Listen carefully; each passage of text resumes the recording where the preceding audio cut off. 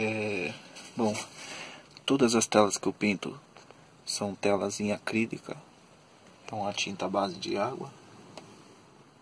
Na, na técnica eu uso pincel, uso bastante espátula para poder obter efeitos na pintura. A tinta acrílica é uma tinta base de água que se pode conseguir muitas texturas, né?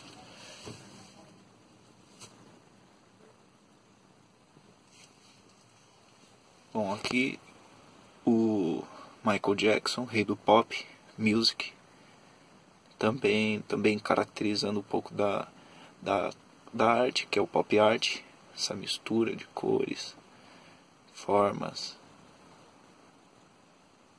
E aí vai minha homenagem. Seguindo na linha da música, mas agora para música brasileira. Tem o Cartola, o, rei, o maestro do samba, o rei do samba, naquela foto clássica dele tomando cafezinho, ou não sei, mas aí desfrutando dos maiores sambistas. Também aqui já uso uma outra técnica. Já não é o pop art, é uma, uma mistura, uma coisa diferente. Como eu sou autodidata, é uma técnica bem espontânea. As telas vão nascendo. Depois, seguindo ainda a linha da música, da arte, vem John Lennon, pop art também.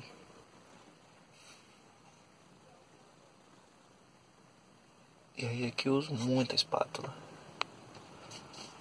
Aqui essa espátulada.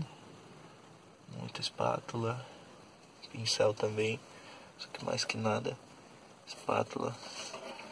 Pra poder chegar nesse. Chegar aqui nessa textura, nessa qualidade de pintura. Depois seguindo a música ainda, do lado de John Lennon. James Joplin. Também pop art.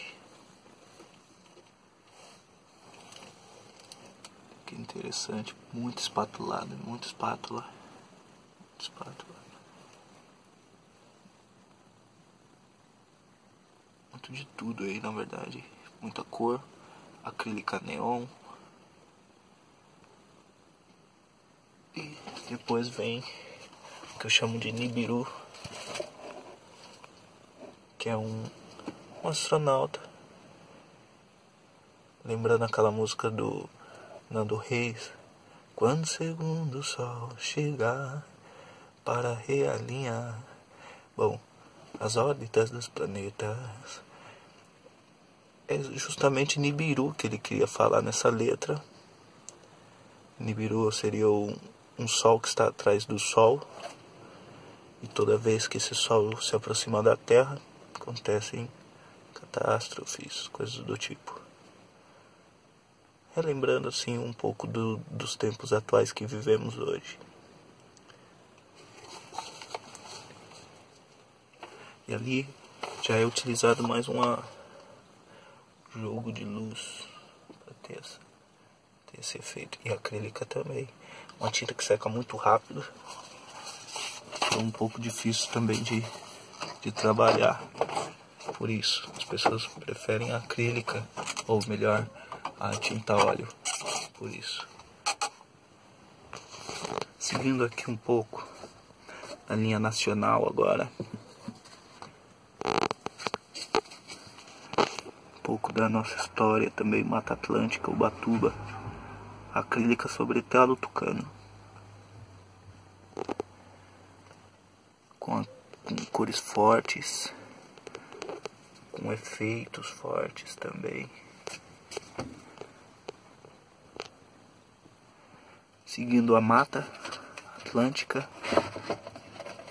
Vem aqui um dos. um índio. Pataxó. Aqui um cacique. Tela invernizada.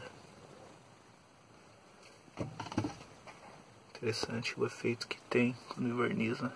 Vem um brilho. Bom, é isso. Essa daqui já é uma tela nacional, indígena, pataxó, cacique, chefe de tribo.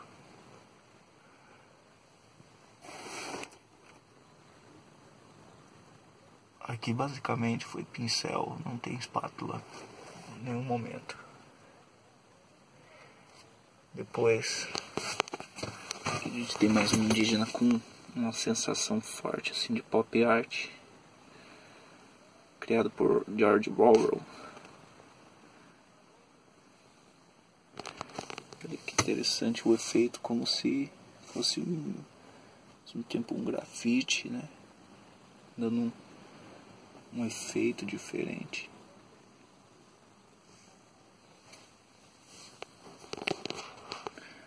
Representando também a questão nacional, né?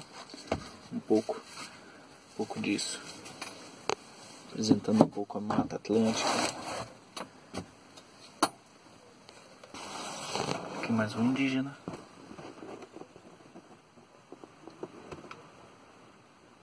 Puro pincel e muito dedo assim também, assim, tem bastante dedo. E olha o efeito que se consegue, né? Com pinceladas e pinceladas uma forma de espalhar a tinta com o dedo. Depois tem mais um indígena.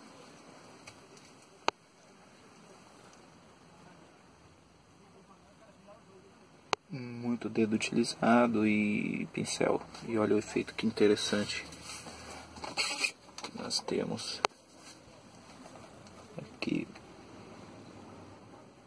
para dar sombra, né? que, que forma de utilizar diferente. Como eu falei, devido né, ser autodidata, eu acabo. As telas vão nascendo espontaneamente durante a pintura, vão se transformando, não tem uma linha reta.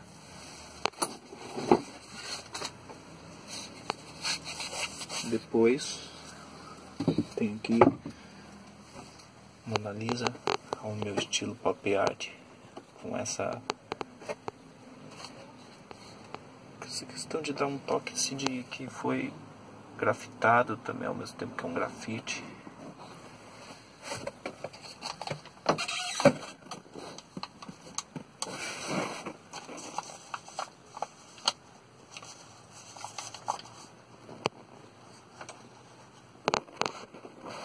Cores fortes para obter alguns resultados. Um amarelo limão. Um preto que fica bem bonito.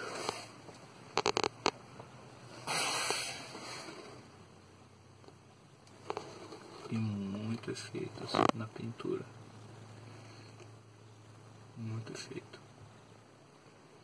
Muita coisa assim. É. Cores fortes não só as cores fortes, mas também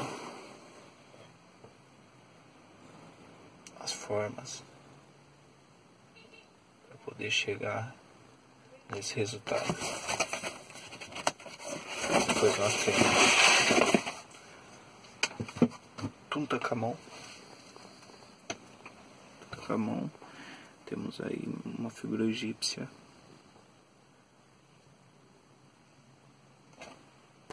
parte da história universal, da, da Terra, na verdade. Né? História humana.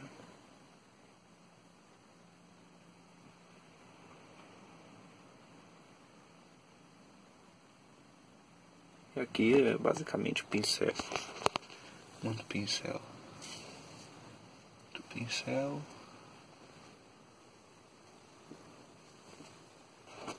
Então é isso.